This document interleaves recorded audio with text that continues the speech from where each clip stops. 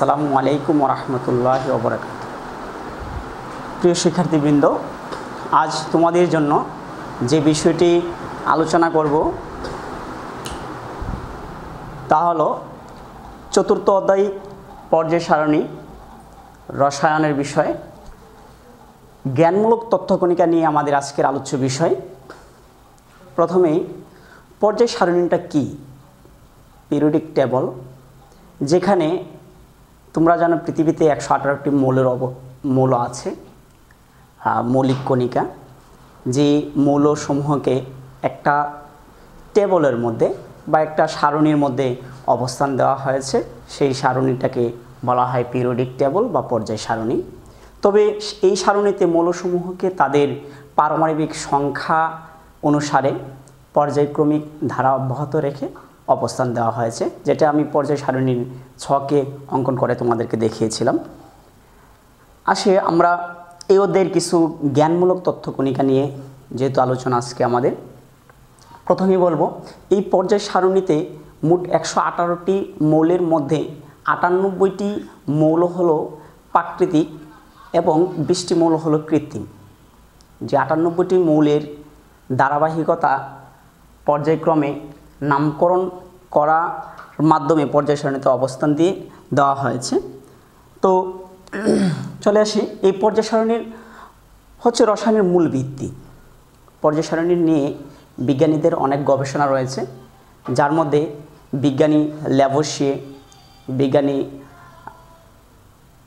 তার অবদানটা লেবসিয়ের অবদানটা অনেক বেশি। যে লেবসিয়ে প্রথম এই পর্যায় সারণী নিয়ে আলোচনা করেছিল পর্যায় সারণী স্থাপন করেছিল।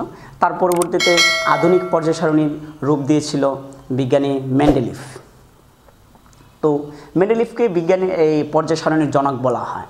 কেননা তার প্রতিপাদ্য যে বিষয়গুলো ছিল, সেই বিষয়গুলো সবার কাছে গৃহীত, সার্বজনীন স্বীকৃত।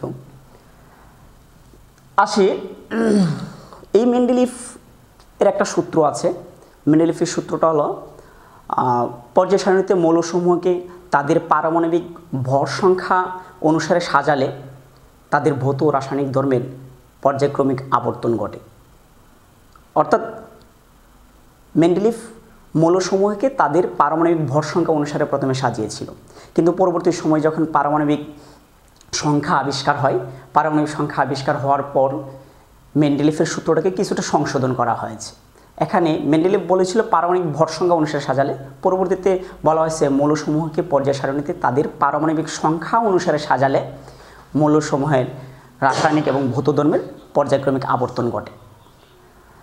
এরপর তাহলে আমরা দুইটা সূত্র পেলাম এখানে। একটা মেন্ডেলিফের মূল সূত্র, আরেকটা হচ্ছে সংশোধনী সূত্র। মূল সূত্রটা হলো পারমাণবিক ভর অনুসারে সাজালে, আর সংশোধনী সূত্র হলো পারমাণবিক সংখ্যা অনুসারে সাজালে তাদের ভৌত ও রাসায়নিক ধর্মের একটা পর্যায়ক্রমিক আবর্তন ঘটবে।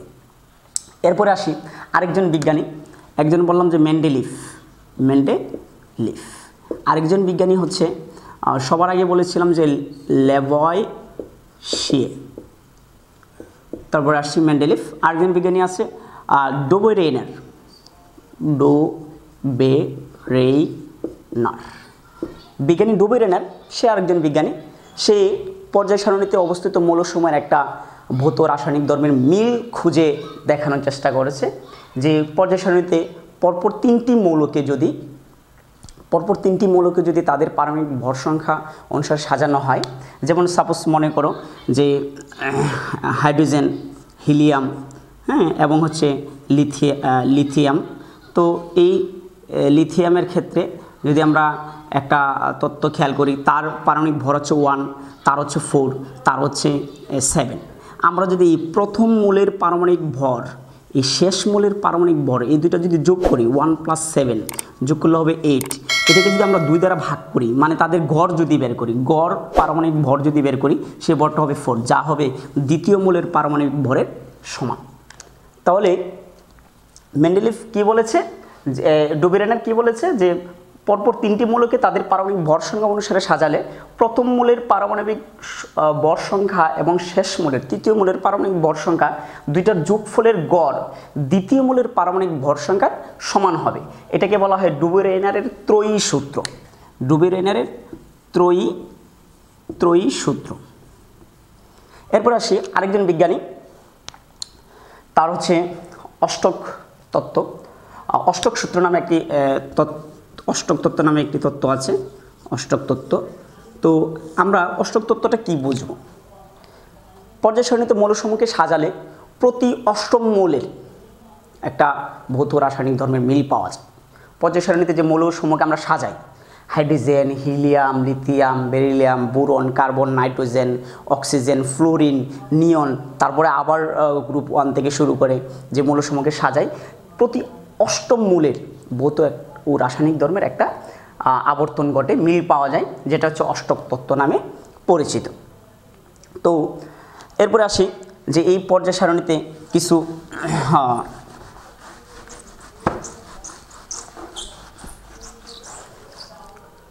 পর্যায় সারণীর কিছু সংজ্ঞা নিয়ে আলোচনা করব। যেখানে আমাদের পর্যায় কিছু মূল আছে, যাদেরকে হেলুজেন ধাতু বলা হয়। যেমন গ্রুপ ওয়ানের মূলগুলো। আমরা পড়েছিলাম গ্রুপ ওয়ানের মূলগুলো। হাইড্রোজেন হাইড্রোজেন লিথিয়াম হ্যাঁ সোডিয়াম পটাশিয়াম হ্যাঁ রুবিডিয়াম এই যে মৌলসমূহ আছে গ্রুপ ওয়ানের তারা হচ্ছে গ্রুপ ওয়ানের এই মৌলগুলোকে হেলোজেন ধাতু বলা হয়। তো গ্রুপ ওয়ানের সরি গ্রুপ ওয়ানের মৌলসমূহকে খার ধাতু বলা হয়। খার ধাতু। ক্ষার ধাতু কারণ তারা ক্ষার গঠন করে। এই জন্য তাদেরকে ক্ষার ধাতু বলা হয়।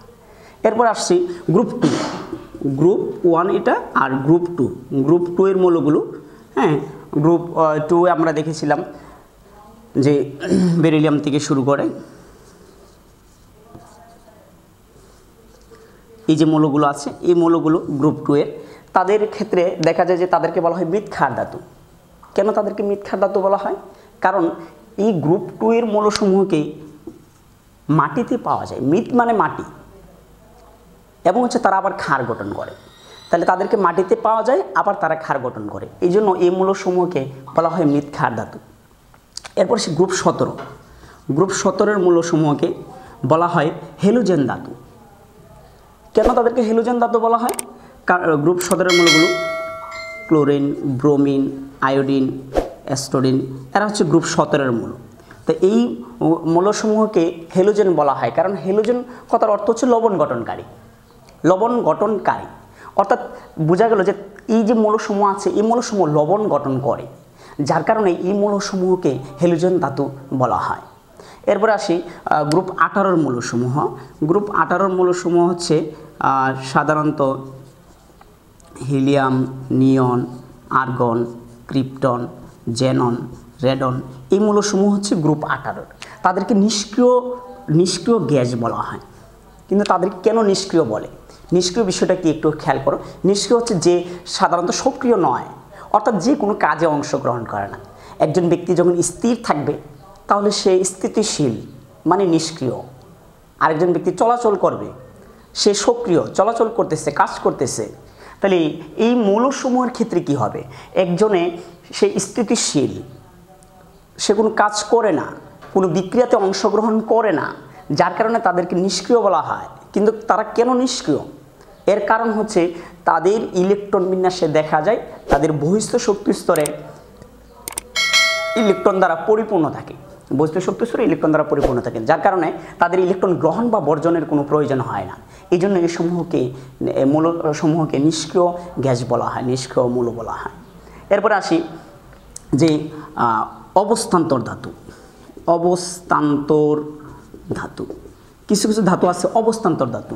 গ্রুপ থ্রি থেকে, গ্রুপ থ্রি থেকে শুরু করে গ্রুপ বারো পর্যন্ত এই মৌলসমূহ হচ্ছে অবস্থান্তর। সাধারণত তারা অবস্থান্তর ধাতু গঠন করে। অবস্থান্তর ধাতু কীভাবে বুঝব? যারা রঙিন যৌগ গঠন করে, রঙিন যৌগ গঠন করে, তারা হচ্ছে অবস্থান্তর ধাতু। এরপরে আসি কিছু পাবো আমরা নিকৃষ্ট ধাতু। নিকৃষ্ট নিকৃষ্ট নিকৃষ্ট ধাতু। তো নিকৃষ্ট ধাতু কারা? সাধারণত কিছু ধাতু আছে যাদেরকে সস্তায় পাওয়া যায়। যেমন মনে হল টিন, লোহা, এই ধাতুগুলোকে সস্তায় পাওয়া যায়। হ্যাঁ যার কারণে এদেরকে বলা হয় নিকৃষ্ট ধাতু। আবার কিছু আছে অভিজাত ধাতু। ও, ভি, জাত, অভিজাত ধাতু। কিন্তু অভিজাত ধাতু কারা? যেগুলো, যে ধাতুগুলো হচ্ছে সাধারণত অনেক মূল্যবান, অর্থাৎ দামি, যেমন গোল্ড অরাম হ্যাঁ এরপর আছে প্লাটিনাম এরা হচ্ছে মূল্যবান ধাতু, যার কারণে এই ধাতুসমূহকে বলা হয় অভিজাত ধাতু। এছাড়া আরও কিছু জ্ঞানমূলক প্রশ্ন আছে।